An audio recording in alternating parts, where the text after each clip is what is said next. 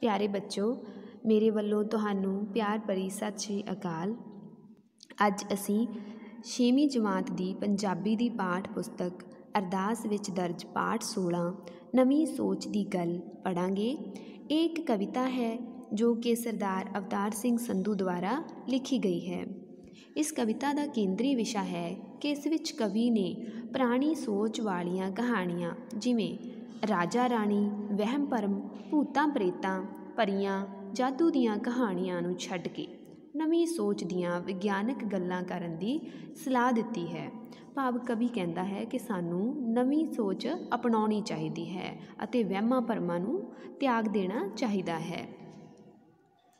ਅੱਗੇ ਕਵਿਤਾ ਸ਼ੁਰੂ ਕਰਦੇ ਹਾਂ।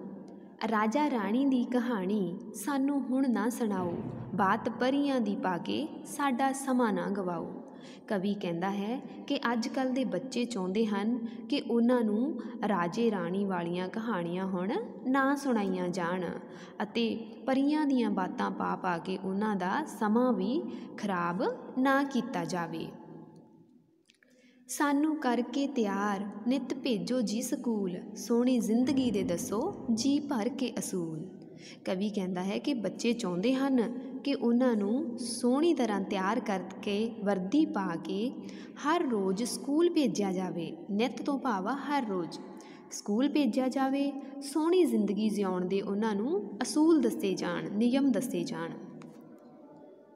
ਪਾ ਕੇ ਭੂਤਾਂ ਦੀਆਂ ਬਾਤਾਂ, ਸਾਡੀ ਨੀਂਦ ਨਾ ਉਡਾਓ। ਰਾਜਾ ਰਾਣੀ ਦੀ ਕਹਾਣੀ ਸਾਨੂੰ ਹੁਣ ਨਾ ਸੁਣਾਓ।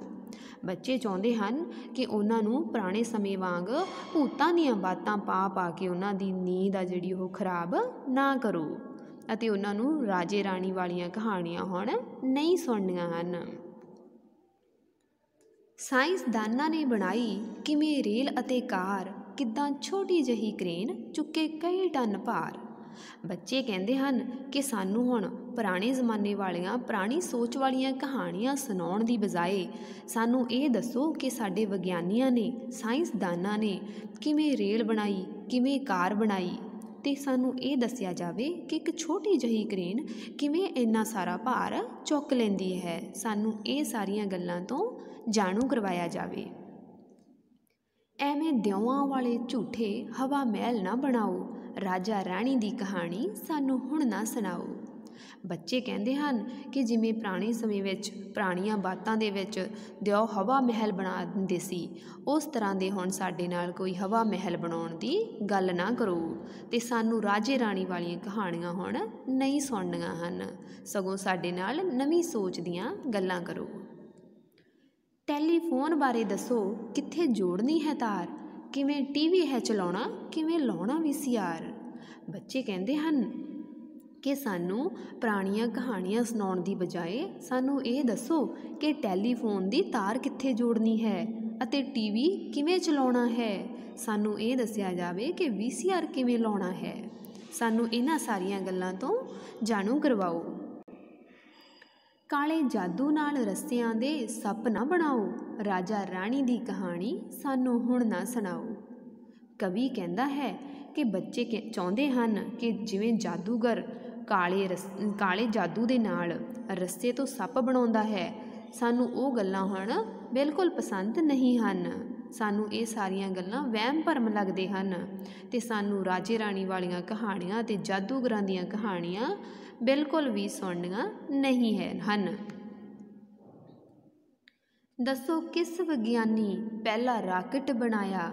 ਬਿਨਾ ਬੰਦੇ ਇਹ ਵੀ ਦੱਸੋ ਕਿਵੇਂ ਚੰਦ ਉੱਤੇ ਲਾਇਆ?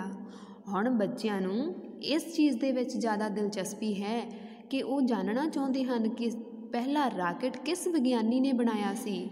ਤੇ ਉਹਨਾਂ ਨੂੰ ਇਹ ਵੀ ਦੱਸਿਆ ਜਾਵੇ ਕਿ ਇੱਕ ਕਿ ਬਿਨਾਂ ਬੰਦੇ ਤੋਂ ਉਸ ਰਾਕੇਟ ਨੂੰ ਇਕੱਲੇ ਨੂੰ ਚੰਦ ਉੱਤੇ ਕਿਵੇਂ ਉਤਾਰਿਆ ਗਿਆ?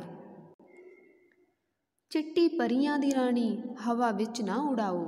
ਰਾਜਾ ਰਾਣੀ ਦੀ ਕਹਾਣੀ ਸਾਨੂੰ ਹੁਣ ਨਾ ਸੁਣਾਓ। ਕਵੀ ਕਹਿੰਦਾ ਹੈ ਕਿ ਅੱਜ ਕੱਲ੍ਹ ਦੇ ਬੱਚੇ ਕਹਿੰਦੇ ਹਨ ਕਿ ਹੁਣ ਚਿੱਟੀ ਪਰੀਆਂ ਦੀ ਰਾਣੀ ਦੀਆਂ ਕਹਾਣੀਆਂ ਨੇ ਜਿਹੜੀਆਂ ਕਿ ਉਹ ਹਵਾ ਵਿੱਚ ਉੱਡਦੀ ਸੀ ਉਸ ਦੇ ਖੰਭ ਹੁੰਦੇ ਸੀ। ਇਹ ਸਾਰੀਆਂ ਗੱਲਾਂ ਹੁਣ ਉਹਨਾਂ ਨੂੰ ਬਿਲਕੁਲ ਵੀ ਪਸੰਦ ਨਹੀਂ ਹਨ। ਉਹਨਾਂ ਨੂੰ ਇਹ ਵਹਿਮ ਭਰਮ ਲੱਗਦੇ ਹਨ ਤੇ ਉਹਨਾਂ ਨਾਲ ਹੁਣ ਇਹ ਇਹੋ ਜਿਹੀਆਂ ਗੱਲਾਂ ਨਾ ਕੀਤੀਆਂ ਜਾਣ। ਸਾਡੇ ਨਾਲ ਕਰੋ ਹੁਣ ਕੰਪਿਊਟਰ ਦੀ ਗੱਲ। ਕਿੱਦਾਂ ਚੱਲਣ ਮਿਜ਼ਾਈਲਾਂ? ਬੰਬਾਂ ਰਾਕਟਾਂ ਦੀ ਗੱਲ। ਬੱਚੇ ਕੀ ਕਹਿੰਦੇ ਹਨ ਕਿ ਹੁਣ ਉਹ ਜਿਹੀਆਂ ਕਹਾਣੀਆਂ ਉਹਨਾਂ ਨੇ ਨਹੀਂ ਸੁਣਨੀਆਂ।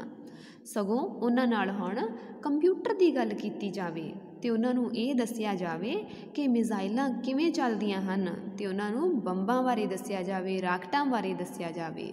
ਭਾਵ ਕਿ ਜਿਹੜੀਆਂ ਨਵੀਂ ਤਕਨੀਕ ਦੇ ਨਾਲ ਨਵੀਆਂ ਚੀਜ਼ਾਂ ਵਿਗਿਆਨ ਨੇ ਬਣਾਈਆਂ ਹਨ, ਬੱਚਿਆਂ ਨੂੰ ਉਹਨਾਂ ਤੋਂ ਜਾਣੂ ਕਰਵਾਇਆ ਜਾਵੇ।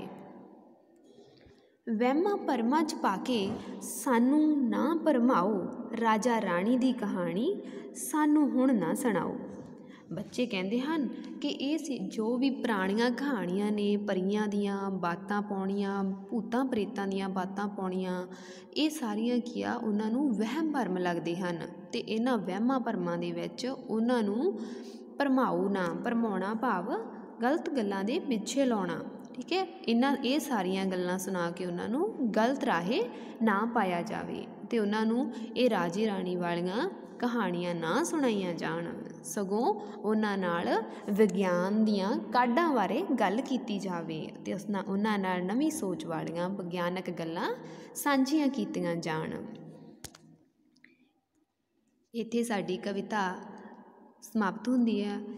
ਇਸ ਦਾ ਵਿਸ਼ਾ ਬੇਟੇ ਕੇਂਦਰੀ ਵਿਸ਼ਾ ਇਹੀ ਆ ਕਿ ਸਾਨੂੰ ਅੱਜ ਪੁਰਾਣੀ ਸੋਚ ਵਾਲੀਆਂ ਕਹਾਣੀਆਂ, ਰਾਜਾ ਰਾਣੀ ਦੀਆਂ, ਵਹਿਮਾਂ ਭਰਮਾਂ ਵਾਲੀਆਂ, ਭੂਤਾਂ ਪ੍ਰੇਤਾਂ ਵਾਲੀਆਂ, ਪਰੀਆਂ ਵਾਲੀਆਂ ਜਾਂ ਫਿਰ ਜਾਦੂ ਦੇ ਨਾਲ, ਜਾਦੂ ਨਾਲ ਵੱਖ-ਵੱਖ ਚੀਜ਼ਾਂ ਬਣਾ ਦੇਣਾ, ਜਿਵੇਂ ਰੱਸੇ ਤੋਂ ਸੱਪ ਬਣਾ ਦੇਣੇ, ਇਹੋ ਜਿਹੀਆਂ ਗੱਲਾਂ ਜਿਹੜੀਆਂ ਉਹ ਛੱਡ ਦੇਣੀਆਂ ਚਾਹੀਦੀਆਂ ਹਨ। ਸਗੋਂ ਵਿਗਿਆਨ ਦੀਆਂ ਕਾਢਾਂ ਬਾਰੇ ਬੱਚਿਆਂ ਨੂੰ ਜਾਣਕਾਰੀ ਦੇਣੀ ਚਾਹੀਦੀ ਹੈ, ਨਵੀਂ ਸੋਚ ਅਪਣਾਉਣੀ ਚਾਹੀਦੀ ਹੈ।